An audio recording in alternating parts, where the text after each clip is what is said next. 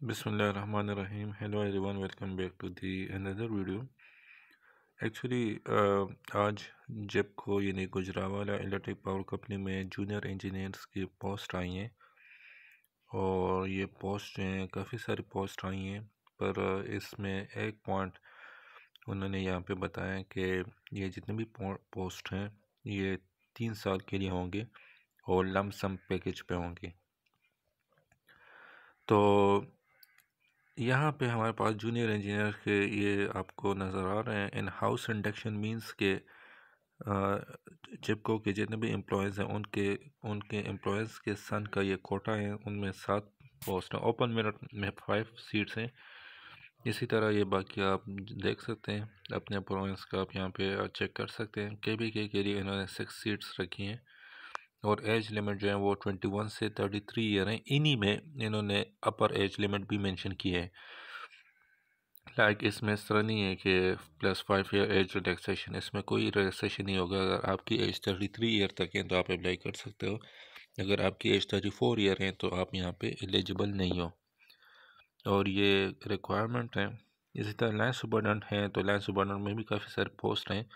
लेकिन line line सुबरडेंट में एक कंडीशन ये है कि ये इन्होंने कुछ डिस्ट्रिक्ट वगैरह दी हैं कि सिर्फ़ उन्हीं उन्हीं डिस्ट्रिक्ट के लोग इस लाइन सुबरडेंट और एस एस ओ इलेवन के लिए अप्लाई कर सकते हैं।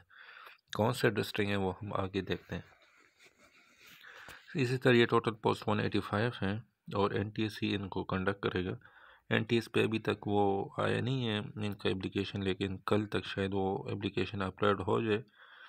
और यहाँ पे वो डिस्ट्रिक्ट जो थे domicile, Gujranwala, Hafizabad, Gujrat, Mandi, Bahauddin, Sialkot and Narowal district सिर्फ़ अप्लाई कर सकते हैं लैंड सुबरेंट के लिए, इन एस एस ओ के लिए।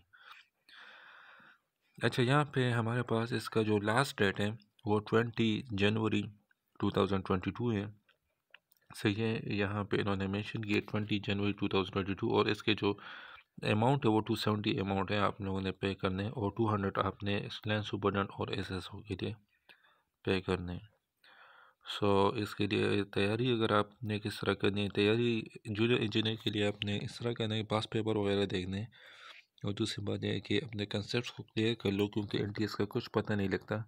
कभी कभार वो पास पेपर से एम उस पर कर लेते हैं कभी कभार वो बिल्कुल नया टेस्ट ले आते हैं तो कुछ भी पता नहीं लगता तो आप अपने आप को फुली कंसेप्ट को अच्छी तरह से क्लियर रख। लो मैंने बहुत सारे एम अपलोड किए हैं तो होपफुली वो सारे एम आपके लिए हेल्पफुल होंगे। आप उन एम को देखने के लिए आप इस तरह प्ले लिस्ट में चले जाओ प्ले लिस्ट में फिर वहाँ पर आपको सारे जितने भी होंडा एम सी हैं वो मैंने अपलोड किए हैं, और भी बहुत सारे कंसेप्ट एम सी मैंने अपलोड किए हैं। जनरल के लिए भी मैंने बहुत सारे एम सी अपलोड किए हैं तो होपफुली ये मेरा चैनल आपको वहाँ काफ़ी हेल्प आउट हो, करेगा। लेकिन अगर फिर भी आपके कोई क्वेश्चन है, कोई कंसेप्ट क्लियर नहीं है तो आप प्लीज़ मुझे कंसेप्ट कमेंट सेक्शन में बता दीजिएगा। मैं वहाँ पे आपको हेल्प कर दिया करूँगा। Okay see you next video thanks for watching अल्लाह हाफिज़